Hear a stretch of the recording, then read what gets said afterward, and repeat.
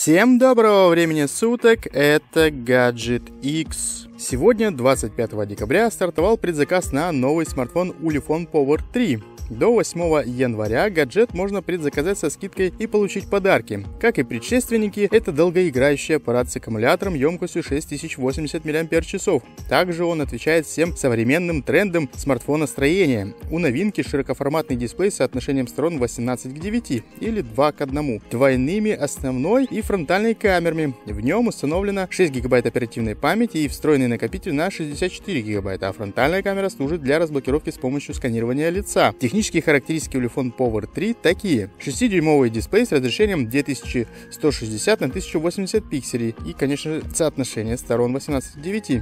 8-ядерный процессор MediaTek MT6763, 6 ГБ оперативной памяти, встроенный накопитель на 64 ГБ с возможностью расширения, двойная основная камера с сенсорами на 16,5 мегапикселей, двойная фронтальная камера с сенсорами на 13,5 мегапикселей, аккумулятор емкостью 6080 мАч с поддержкой быстрой зарядки, комбинированный слот для двух сим-карт, поддержка 4G, сканер отпечатка пальцев и функция распознания лица, ось Android 8.1 Oreo. В рамках предзаказа Ulefone Power 3 обойдется всего в 220 долларов долларов. В подарок вы получите набор аксессуаров общей стоимостью в 40 долларов, переходники с разъема USB Type-C, защищенный чехол и пленка на экран. Суммарная экономия составляет приблизительно 80 долларов. Так что такая вот у нас замануха.